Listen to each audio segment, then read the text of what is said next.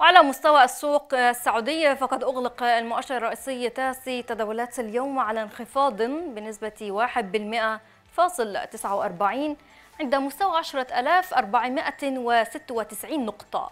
بتداولات بلغت قيمتها الإجمالية 3 مليارات ريال فاصل 293 مليون. وجاء سهم شركة ثمار التنمية القابضة في صدارة الأسهم الأكثر ارتفاعا نسبة 9%